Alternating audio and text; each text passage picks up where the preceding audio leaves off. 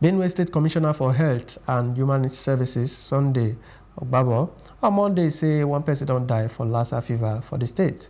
One statement wey the commissioner give say they get one index say the combined surveillance team don't already show the area to comb the place for contract tracing. They don't record 60 confirmed cases with 16 deaths nationally. The statement is some advice give the members of the public for mode of transmission and prevention.